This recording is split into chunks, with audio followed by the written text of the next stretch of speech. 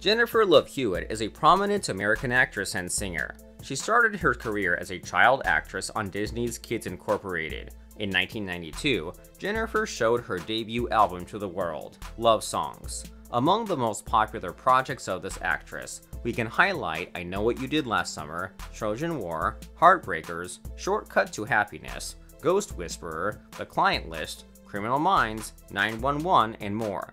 We bet you would like to know also about the love life of Jennifer Love Hewitt. Let's take a closer look.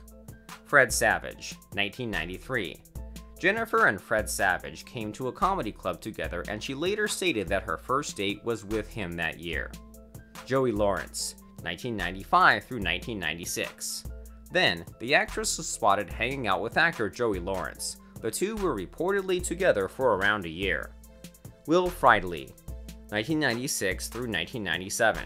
The following year, Hewitt had a romance with Will Friedle. They co-starred in the movie Trojan War, and their romantic relationship started there. Carson Daly, 1998 through 1999. Then, she met the TRL host. The two started dating straight away, but their love story ended not very well. Rich Cronin, 1999 through 2001. When separating from Daly, the actress was linked to singer and songwriter Rich Cronin. Enrique Iglesias, 2001. After appearing in the video for Enrique Iglesias' song Hero, dating rumors started circulating around the couple, but nothing was confirmed.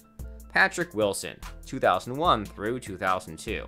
Then, the Heartbreaker star had an affair with actor, singer, and director Patrick Wilson. They were together for around a year. John Mayer, 2002. That year, Jennifer also had a brief fling with singer and songwriter John Mayer.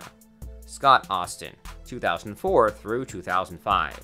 Two years later, the actress was spotted with Congressman Scott Austin. Supposedly, they were dating for a year.